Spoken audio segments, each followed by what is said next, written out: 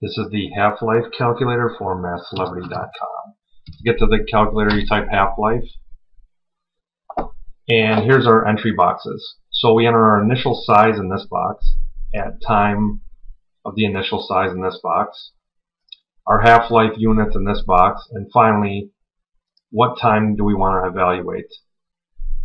So once we're set, we'll press calculate half-life problem.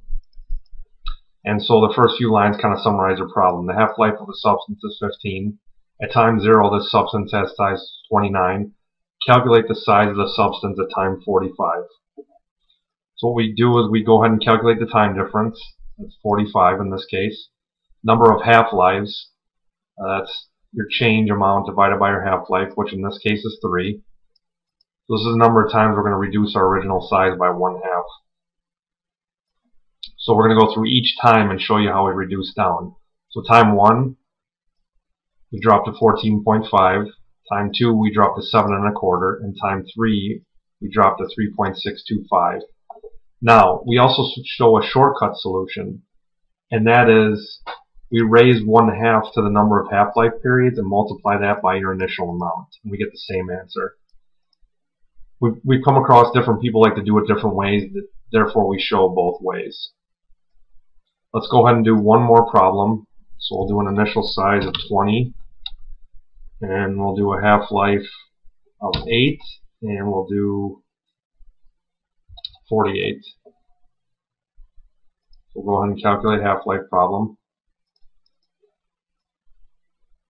So in this case we're going to have six half-life periods. We're going to start at time 0 and go all the way to 6.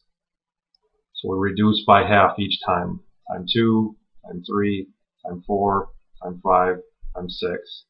But then we can do the shortcut formula, 1 half raised to the 6th, multiply that by our initial amount, 20 over 64, which is matches the solution here. So that's pretty much it for the calculator. We've also got a generate practice problem button feature, and that'll come up with a completely random problem for you. So as you can see, it loaded a new problem for you. Press the button again, and it gives you another problem. This feature is cool because you can kind of keep sharp with practice problems once you run out of problems in your textbook. We've also got a quiz generator for this lesson, and for more information on that, you can visit the video link under this folder here.